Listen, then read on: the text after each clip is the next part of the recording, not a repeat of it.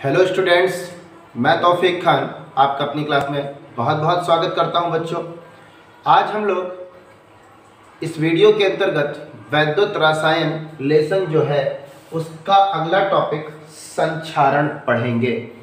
संचारण जिसे इंग्लिश में कोरोजन कहते हैं। तो संचारण क्या है? पहले इसकी मैं डेफिनेशन लिखता हूँ, फिर आपको समझाता हूँ। जब किसी धातु की सतह, वायु तथा नमी द्वारा संचारित होती है, संचारित होती है तो यह क्रिया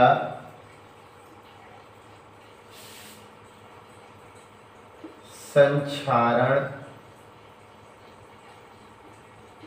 कहलाती है। जैसे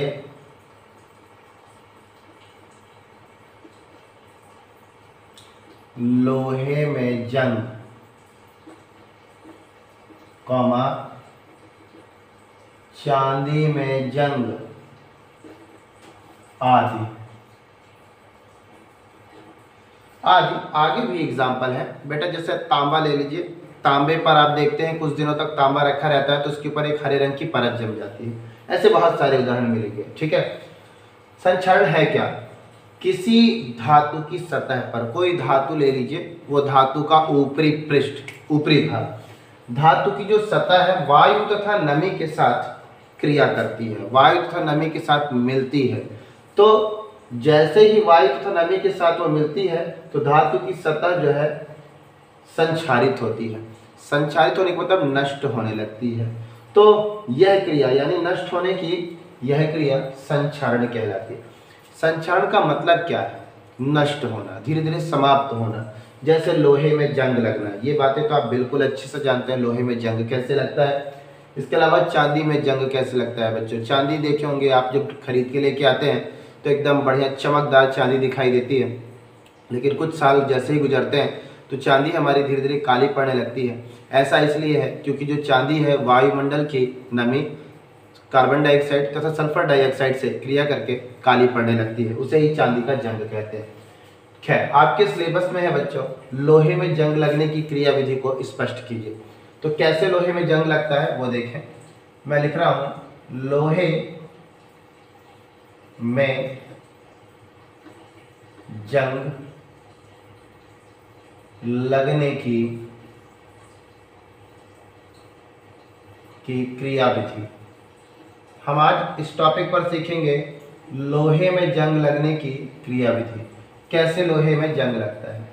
बच्चों, जैसे आप लोहा लिए, लोहा लेने के बाद आप उसे वायुमंडल में रख दिए। वायुमंडल, खुले वायुमंडल में, जो जहाँ पर वायु के वो संपर्क में रहे। तो मान लीजिए आपने बच्चों कोई लोहा लिया। चलिए, मैं से आपको यहाँ से दिखाता हूँ। आपने एक लोहे का टुकड़ा ले लिया। ये है आपका लोहे का टुकड़ा। इस लोहे के टुकड़े में बच्चों हो सकता है कहीं कोई दरार हो, कोई गहरापन हो, कोई गड्ढापन हो। तो मान लीजिए उसी दरार में जो वायुमंडल की जो वायु है, जो वायुमंडल की जो वायु है और वायु में नमी है। तो नमी किसी एक हिस्से पर आकर इकट्ठा हो गई, जम गई, बैठ गई।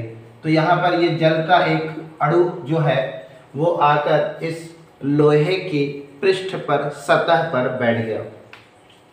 तो बच्चों, लोहे का जो हिस्सा जल के संपर्क में है तो लोहे का इतना हिस्सा आप देख रहे हैं, जल के संपर्क में लोहे का जो हिस्सा जल के संपर्क में होता है, वो एनोड की तरह कार्य करता है, तथा लोहे का वो हिस्सा जो वायु के संपर्क में है यानी यहाँ से लेके देखिए, यहाँ तक, यहाँ से यहाँ तक। ठीक है? ये साइड वाला भी, ये वाला भी।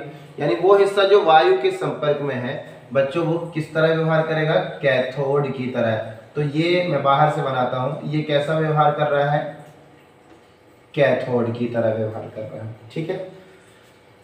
आप जानते हैं कि एनोड पर कहे की क्रिया होती है? ऑक्सीकरण की क्रिया होती है। ठीक है? तो देखिए, मैं लिखता हूँ कैसे ऑक्सीकरण हो रहा है एनोड पर। एनोड पर क्या होता है? ऑक्सीडेशन, यानी इलेक्ट्रॉनों की हानि होती है।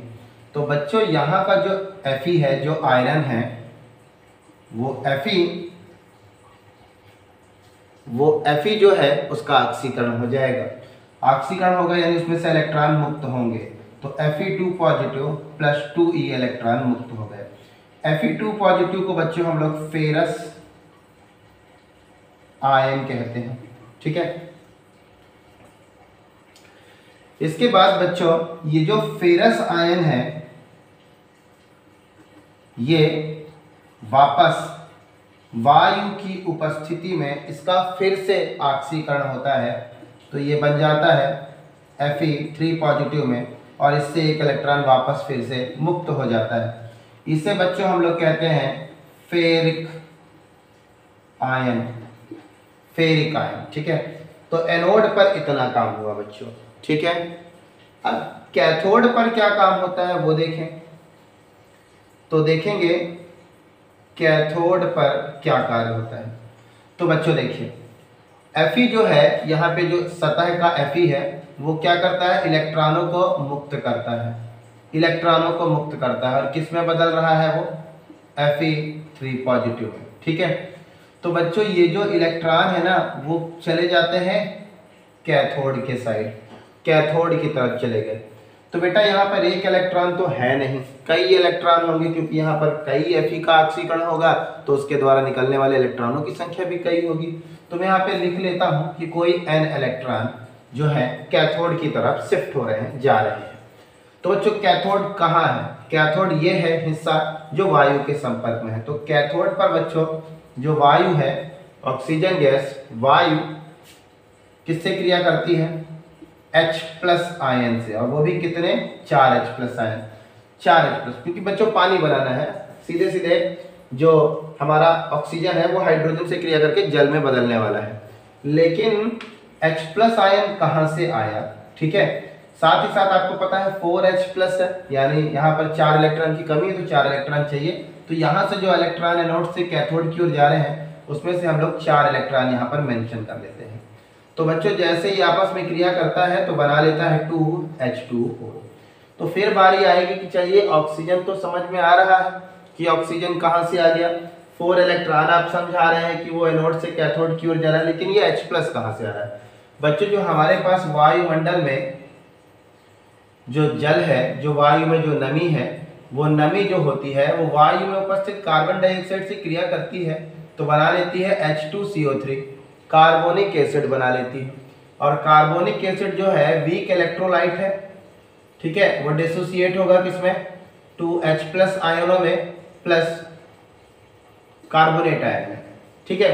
कार्बोनेट आयन वापस कार्बन डाइऑक्साइड में चला गया। जैसा कि आपको पता है, ये हिस्सा कैथोड की तरह कार्य कर रहा है, यानी ऋणात्मक है। तो बच्चों, ये जो H प्लस है, वो धीरे धीरे कहाँ पर आएगा? कैथोड पर आकर इकट्ठा हो जाएगा। ऊपर सतह पर इकट्ठा हो गया। तो समझ गए? हमने कहा से H प्लस आयन प्राप्त किए?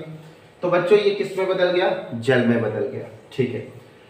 अब आगे देखते हैं। हमारे पास क्या है? फेरिक आयन बना है। ये फेरिक आयन जो है, ये ऑक्सीजन के ऑक्साइड से, ऑक्सीजन के ऑक्साइड से क्रिया कर लेता है। और ऑक्साइड की ऑक्सीडेशन स्टेट होती है माइनस टू। तो बच्चों, इसके साथ ये क्रिया करेगा, योग करेगा। तो बच्चों, आपको पता है जो जब दो परमाणुएँ आपस में मिलती हैं, दो परमाणुएँ आपस में मिलती हैं तो उनकी संयोजकता क्रिस क्रॉस हो जाती है, यानी अदला बदली हो जाती है। इसकी यहाँ पे चली जाएगी, दो यहाँ पे आ जाएगा, यानी एफ़ की संख्या दो हो जाएगी और ओ की संख्या तीन हो जाएगी। तो क्या बन गया हमारे पास? एफ़ टू ओ थ्री ठीक है? तो एफ़ टू ओ थ्री बन गया है। अब बच्चों, ये जो एफ़ टू ओ थ्री है ये कैथोड के किसी भी एक हिस्से में उभार सा बना लेता है, पपड़ी जैसा बना लेता है। और ये जो उभार होता है, कैथोड पर जमा हुए जल, ये कैथोड पर जल बना है, कैथोड पर जमा हुए जल से क्या कर लेता है? क्रिया कर लेता है। तो क्रिया करने के बाद बना लेता है Fe2O3 के कोई X अणु जल के साथ मिला लेता है और बना लेता है जंग। ठीक है? तो लोहे पर क्या बना लेता है वो? जंग बना लेता है। तो देखें, आप क्या देख रहे हैं बच्चों? इस टॉपिक के अंतर्गत आप देख रहे हैं कि लोहे में जो ये पूरी क्रिया हो रही है, ठीक है, ये वैद्युत रासायनिक क्रिया है, ये जो क्रिया हो रही है जंग लगने की, इसी में आप देख रहे हैं लोहे के टुकड़े में कैथोड भी है और एनोड भी है। और अगर कैथोड और एनोड दोनों है तो इसका मतलब एक सेल की तरह कार्य कर रहा है। और भैया, सेल की तरह कार्य कर रहा है तो आप देख रहे हैं, एनोड एक पक्ष की रिएक्शन है, कैथोड एक पक्ष की रिएक्शन है। अगर खाली एनोड को लेकर चलते हैं तो वो अर्धाभिक्रिया है। कैथोड को लेकर चलते हैं तो वो अर्धाभिक्रिया दो अर्धाभिक्रिया को आपस में मिला दें तो बच्चों, संपूर्ण अभिक्रिया, यानी सेल की अभिक्रिया बन जाएगी। तो देखिए, क्या हो रही है हमारे पास अभिक्रिया सबसे पहले? यहाँ से लिख रहा हूँ मैं, ठीक है? एनोड एनोड पर क्या रिएक्शन हो रही है? आप देख रहे हैं एनोड पर जो एफ़ है, ये बदल रहा है। एफ़ टू पॉजिटिव में और दो इलेक्ट्रॉन मुक्त हो रहे हैं। बच्चों, इसके बाद फिर ये नीचे भी है, लेकिन ये स्टेप आप देख रहे हैं सिर्फ़ एनोड पर। ऑक्सीडेशन का जो प्रोसेस है, वो एनोड पर सिर्फ़ किसका हो रहा है? आयरन बदल रहा है फेरस में। लेकिन जब फेरस बदलता है फेरिक में तो उस पर वो किसकी वजह से बन रहा है? ऑक्सीजन यानी वायु के कारण उसका फिर से ऑक्सीकरण हो रहा है। हमें एनोड पर जो काम हुआ है एनोड पर बस खाली इतना काम हुआ है। यहाँ तो जो फेरस आयन बन रहा है एनोड पर वो वापस ऑक्सीजन की उपस्थिति में फिर से अपना ऑक्सीकरण करता है। लेकिन एनोड पर तो बस खाली इतना ही काम हुआ है। तो बस हम इतना ही काम लिखेंगे। कैथोड पर क्या हुआ है बच्चों? कैथोड पर ये रिएक्शन है आपकी। O2 plus four H plus plus four e minus arrow two H two दो अर्धाभिक्रियाएँ हो गई एनोड की और कैथोड की, और इन दोनों को अगर मिलाकर लिखा जाए, संपूर्ण रिएक्शन लिखा जाए, ठीक है? आल रिएक्शन क्या कहती है? संपूर्ण संपूर्ण अभिक्रिया इसकी क्या होगी? तो बच्चों, सबसे पहले आप देख रहे हैं अभी इस दोनों को मिला के लिखने के लिए हमको इलेक्ट्रॉनों की संख्या बराबर करनी पड़ेगी। इलेक्ट्रॉनों की संख्या बराबर नहीं है। देखिए, यहाँ पर उत्पाद पर दो इलेक्ट्रॉन है, जबकि अभिकारक पर चार है। ऊपर कम है। तो एक काम करते हैं हम कौन सी संख्या से गुणा कर दें कि दो चार में बन जाए? तो बच्चों आप दो से गुणा करेंगे। तो खाली अकेला इसमें दो से नहीं गुणा करेंगे। बल्कि पूरी रिएक्शन पर दो से गुणा हो जाएगा। ठीक है? तो दो से गुणा हो गया तो बच्चों बन गया दो दुनाई चार। तो समझ लो ये जो वाला चार अब ये दो सम, लिखा ज़रूर है लेकिन चार समझेंगे। दो दूना चार ये चार इस चार से कैंसिल अब अभिकारक के तरफ़ की वैल्यू लिखते हैं। दो का मल्टीप्लाई अभिकारक में भी होगा तो बनेगा टू एफ़ ई हो गया। अभिकारक में और कुछ नहीं, अब ये है अभिकारक में। O two plus four H positive फिर एरो टू का मल्टीप्लाई इसमें भी होगा। Two F e two positive और फिर हमारे पास है ये टू एच टू ओ इतना। ठीक है? अब बच्चों, हमारे पास ये जो एफ़ e का आयन बना है, ठीक है? तो वायुमंडल में ये हिस्सा कैसे रिएक्शन करेगा? वायुमंडल में क्या अभिक्रिया होगी? वायु मंडल में अभिक्रिया। आपको पता है, ये वायुमंडल में कैसे अभिक्रिया करेगा? तो जो हमारे पास ये जो टू एफ़ पॉजिटिव है, बच्चों, ये ये हिस्सा वापस वायु से यानी ऑक्सीजन से क्रिया कर लेगा। ठीक है? वायु से क्रिया करेगा तो फिर से क्या बनाएगा? देखिए, ये है हमारे पास टू एफ़ और एक ये और दो ये। टोटल मिलाकर तीन F E two O three बना लेगा और फोर एच यहाँ से आपके बाहर हो जाएँगे। ये जो फोर एच वापस बन रहे हैं बच्चों, ये फोर एच वापस फिर से फोर एच वापस फिर से क्या बनाने के काम में आएँगे? जल बनाने के काम में आएँगे। अब हमारे पास ये जो Fe2O3 है, ये Fe2O3 जल के सतह पर जो जल इकट्ठा हो रहा है, ये देखिए कैथोड पर, ये जो जल इकट्ठा हो रहा है, उसके कोई X अणु के साथ Fe2O3 जल के कोई X अणु के साथ क्रिया करके Fe2O3 पॉइंट XH2O बना लेगा, जिसे जंग कहते हैं। तो बेटा, ये था संचारण संचारण तथा मैंने विधि भी आपको बताई, बोल भी रहा था, स्पष्ट आपको कर रहा था। साथ साथ उसकी ये रासायनिक अभिक्रिया है। इसे आप बेहतर तरीके से सीखें और समझें। इसके बाद एक लास्ट टॉपिक है कि ये जो धातुएँ हैं, जिनमें संचारण की क्रिया हो रही है इन संचारण की क्रिया ना हो, यानी धातुएँ नष्ट ना हो, क्या कर सकते हैं? तो बेटा, पहला उपाय तो बिल्कुल सीधा है। आप धातु को वायुमंडल के संपर्क में जाने ही ना दीजिए। अगर आप धातु को वायुमंडल के संपर्क में जाने ही नहीं देंगे तो ना ऑक्सीजन, ना नमी, कुछ नहीं मिलेगी, आपकी धातु संचारित नहीं होगी, नष्ट नहीं होगी। दूसरा काम आप ये कर सकते हैं, जो धातु की जो सतह होती है, धातु की सतह पर आप पेंट कर दीजिए, इससे भी आपकी धातु संचारित नहीं होगी। तो ये थी बच्चों आज की हमारे संचारण से रिलेटेड क्लास। उम्मीद है मेरी क्लास आपको ये समझ में आई होगी। धन्यवाद।